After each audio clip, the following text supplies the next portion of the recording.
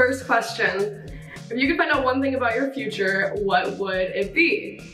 Um, honestly, I wouldn't want to find out anything because I feel like that ruins the whole like, like if you know everything that's gonna happen in your life, then it's like boring.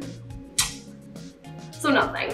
Two, if you could have your dream vacation, where would you go and what would you do? I would go to Paris, France for Fashion Week. I've always wanted to go to Paris and I haven't been yet. And I feel like just being being in Paris on top of Fashion Week, like just knocking off two things off the bucket list in one, it's perfect. If you could take control of anyone's Instagram account for one day, who would it be and why? I think that I would do Kendall Jenner's because I'm obsessed with her aesthetic and I think I could just like sneak a post in there and no one would, no one would know. You could eat one meal for the rest of your life, what would you choose? I would eat sushi. I love sushi. And I already eat so much of it that it's very much a staple in my diet where if I wasn't eating anything else besides sushi, there wouldn't be that much of a difference. So Okay, if you were stranded on an island, I love this question. If you were stranded on an island and could only take three objects, what would they be? Okay, I'm not gonna go the route of like logic and being like, boat. No, I'm gonna choose objects that I feel like I can't live without. One being my phone. I, have, I have a problem with my phone.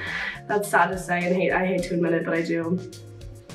Um, I'm gonna say the Laneige lip sleeping mask because, okay, if you're stranded on a desert island, I feel like my lips are gonna be really chapped and I'm gonna need that because that's like the only thing that works for me. Can't have chapped lips. And I'm gonna say my green Target blanket that I have. It's my favorite thing on the planet and I don't think I can live without it. Yeah. What advice would you give to your past self? To stop caring about what other people think because it seriously doesn't matter. What advice would you have for someone who wants to be a social media creator? Same thing, stop caring about what other people think. It doesn't matter what they say, they're irrelevant. Okay, 11, what are your favorite movies of all time? I have a list for this. Hold on, let's see. Oh, now there's like 10 movies on this, now I have to narrow it down. Okay, Tinkerbell is like my comfort movie. I watch that movie every time I'm sick. I love it, it's, it's so sweet. Um, Crazy Rich Asians. I also watch that every time I'm on an airplane because it's like, it's free on little screens and it's such a good movie. I also love Maze Runner and I'm gonna say Friends with Benefits. Those are my four. What is one of your most embarrassing moments? I'm gonna say, I don't think I have any. I don't really get embarrassed that often because I am really like capable of laughing at myself. So I, I don't, yeah, no, I don't really get embarrassed that often. What is something most people who follow you don't know about you? Um, well, okay, so I started getting a following after uh, my movie Turning Red came out, where I was the voice of this character Miriam, and um, so a lot of that, a lot of my following now came from that, and I don't think a lot of them know that I am a singer also, and I write my own songs. That's kind of dope. What is your biggest pet peeve? I hate it when people chew with their mouth open. I think it's so annoying. What is your favorite birthday memory? Um, two of my friends came and picked me up and they brought me flowers and boba and they took me to watch the sunset because I love the sunset and that was really sweet. What would be the one superpower you would choose to have? Flying. I think flying would be so dope.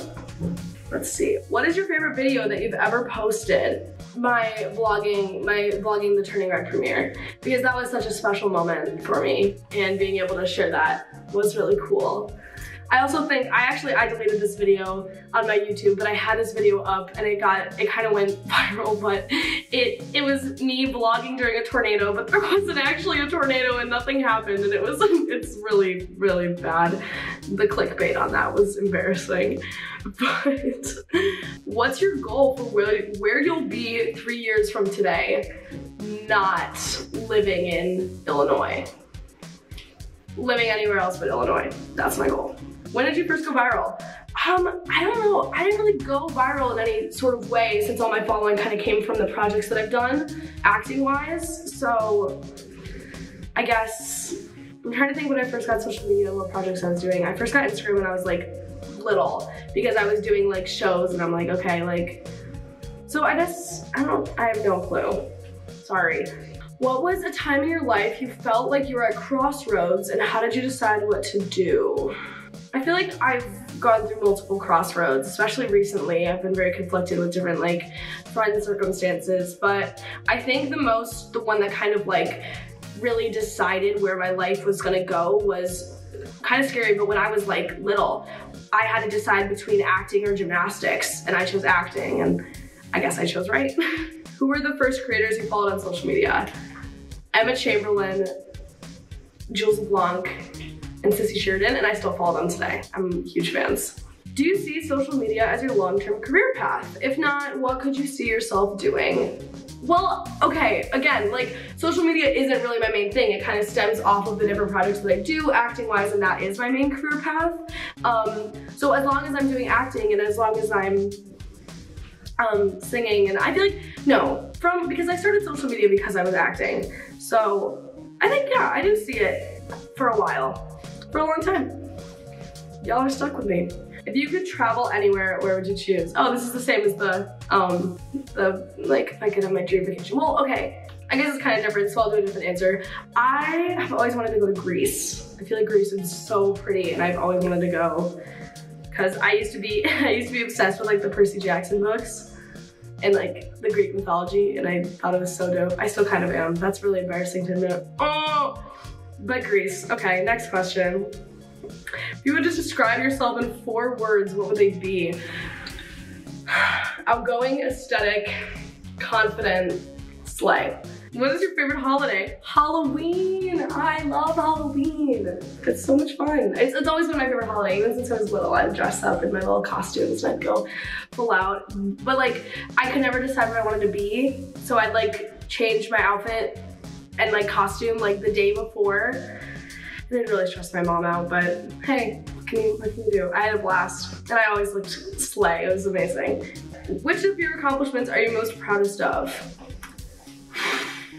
there's many, there's, there's, I don't want to say there's a lot, but I'm gonna say Turning Red, because that is such a huge deal for me. Pixar is crazy and everyone that I've met through that is amazing, so that's a huge accomplishment. And I'm gonna say like putting out songs when I was literally 12, that takes so much confidence and like I'm, I'm really proud of myself for that. Because I got a lot of like hate from that at school, like it was, it was bad, but I stuck through and I'm proud of myself for powering through that. That took a lot of guts for being 12. And who are your role models? My mom. I love my mom. And that is it. Those are all the questions. Thank you guys so much for having me. I had such a good time. Make sure to follow me on Instagram. It's just Ava Loren Morse. Um, and stream Turning Red on Disney Plus.